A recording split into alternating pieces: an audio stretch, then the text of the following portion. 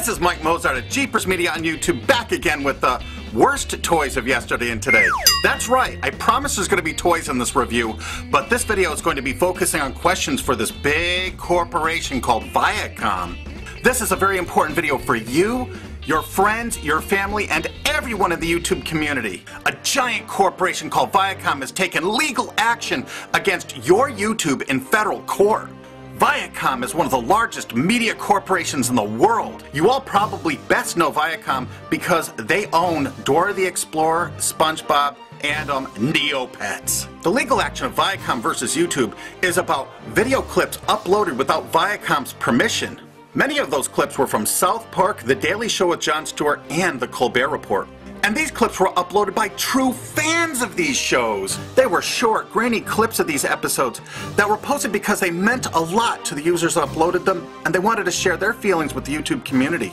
And a lot of these were just uploaded by kids. Yes, kids, 13, 14, 15 years old, or even younger. These kids uploaded these with no intentions of breaking the law. And, as loyal fans, they wanted to share their love for a show like South Park. And these fans actually believed they were helping spread the word about these shows to help make them more popular. And now Viacom is fighting YouTube in court for $1 billion over these copyrighted clips that were uploaded without their permission. Viacom filed copyright takedown notices against tens of thousands of these clips, and you all have seen copyright takedown notices on YouTube. YouTube followed the letter of the law and followed the Digital Millennium Copyright Act, and they removed those clips as soon as they were notified by Viacom. Yet Viacom is still deciding to go after the in court for a billion dollars. And now the serious problem and how it could relate to you. These little copyrighted clips were uploaded to YouTube mostly by kids like you. Members of the YouTube community, not YouTube itself. And the problem is, Viacom may have the right to sue you next, or your friends, or your families, or whoever may have uploaded these clips. And Viacom may go after huge cash settlements. And this legal action against YouTube is more than $15,000 for every clip that was uploaded without Viacom's permission. And should you be scared if you had a clip taken down?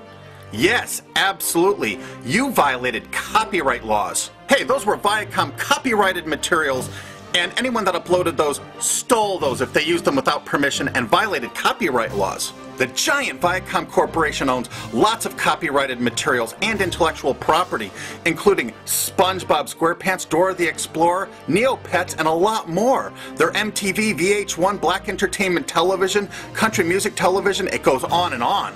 These kids and their families feel threatened, and this potential threat that Viacom may go after the YouTube community as individuals is not being addressed in the media. And have you, your friends, or your family ever had a clip taken down because of a copyright infringement against Viacom? Viacom has lots of other names they may have used to take down those clips too. And who knows what Viacom may be planning to do to individual members of the YouTube community that uploaded those copyright infringing clips. What kind of financial hardship could they cause to your family? The music industry sued and won huge cash settlements from families of kids that uploaded and shared music online. Go online and look at it. Some of these families paid out thousands of dollars in settlements. It financially crippled families. And it could happen to the YouTube community. It could happen to you. The YouTube community is very concerned and afraid. Viacom needs to state publicly right now if they intend to take legal action against these kids or these YouTube community members that uploaded these clips that are being mentioned in this YouTube legal action. And the answer has to be a definite yes or no. No corporate spin cycle. There seems to be an awful lot of the corporate spin cycle going on right now with Viacom in this suit against YouTube. These kids and their families feel threatened, and they need Viacom's public statement now. And for God's sakes, if you have any images, clips, pictures, or anything that you uploaded to YouTube without Viacom's permission, you better take them down right now. And please read my video description for important details. And check out these Viacom copyrighted and approved um, toys. Lots of parents complained about this SpongeBob Pez dispenser where the, the candy pops out of his pants and looks like your children are eating his um, junk. Um, the Patrick one was equally um, controversial. Oh, Patrick, I have something sweet for you. Oh, SpongeBob, I have something sweet for you too. You want a nibble, Patrick? Oh yes, SpongeBob. You want to taste mine too? Oh, Patrick. Isn't it time that someone exposes what Viacom is doing to you and your children? I mean, really exposed. What do you think? Do you think that these things um, are just totally innocent? And check out this Viacom SpongeBob lollipop. Look where they intend for your children to suck on this lollipop. Oh. Could they possibly get any more suggestive than that? What were they thinking? What are you letting your children learn by watching Nickelodeon and the associated channels? What kind of lessons are they teaching these children? Do you really want your child to have SpongeBob products? Hell no. And Viacom might say there's lots of toys that have like hidden sexual messages. You know, look all the Mattel Barbie dolls. I can tell you something. Mattel doesn't hide it. They put it in a great big window box. And if a mother buys it for her daughter and she thinks it's appropriate, who are we to say no? But a lot of these Viacom things, they put them in a box and it's not obvious in the box until after it's opened. And this Dora the Explorer interactive toy looks so innocent in the box. When grandma buys it, she doesn't know what they designed. It's a surprise for your child. Um, look what this design is. It's damned obvious what this was. It's obvious what they were selling for three to six year old girls to play with. Do you think that Viacom is showing a trend here where they're doing overtly sexual things for children? You have to ask yourself, what are they teaching little girls with this toy? And is this a company you want to associate yourself with? Do you want to spend your money on movies and products that comes from a company that makes obviously sexualized toys for very young preschoolers? Viacom, we really want to know who approves these toys at Viacom licensing for little children? I mean, what did you hire that guy that hangs out at the park that offers candy to little children to get into his van? And lots of parents complained about this Dora the Explorer handheld video game. But I guess Viacom saw nothing wrong with it. Hey, and if you think I'm singling out Viacom just because they're going after YouTube, hell no. I, have been a toy designer for 25 years. I have the biggest toy collection probably in the world. I have so many Looney Tunes toys from over the years. I have never found one single inappropriate Looney Tunes toy that I thought was sexual or something that was inappropriate for children. Not one. Look at all the Hanna-Barbera toys that have been made over the years. Think of all the licensed toys that they have made of all these products over the past 50 years.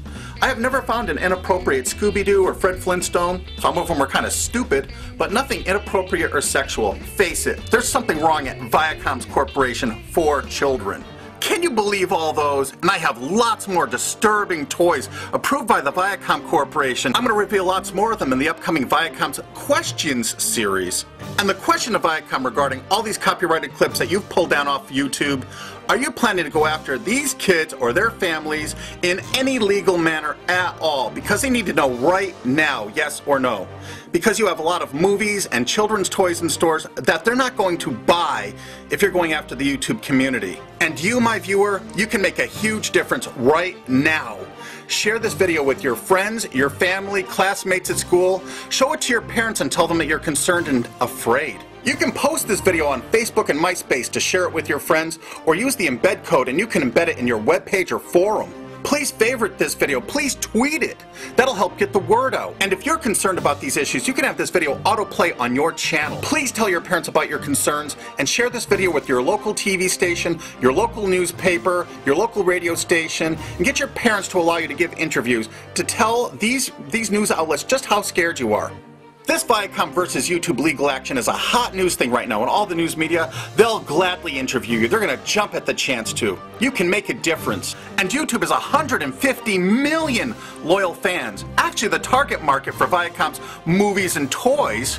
We can make a big difference. Think about what we can do. And this is only the first in a series of questions. I have lots more very disturbing toys that they own the copyrights to and that they approved, plus lots more disturbing information about Viacom and lots more is flowing in every day. And you must create a response video, send me a friend request, and subscribe to my other channel, the Toy Channel, in case Viacom does something to take this one down.